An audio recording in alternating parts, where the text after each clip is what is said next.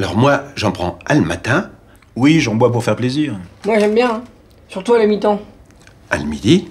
Par contre, euh, avant les matchs, euh, je suis pas sûr. Hein. Et puis un le soir. Parce que... Je pense qu'il y a ça. De toute façon, il n'y en a pas un pour rattraper l'autre. Par contre, faut pas oublier la cannelle.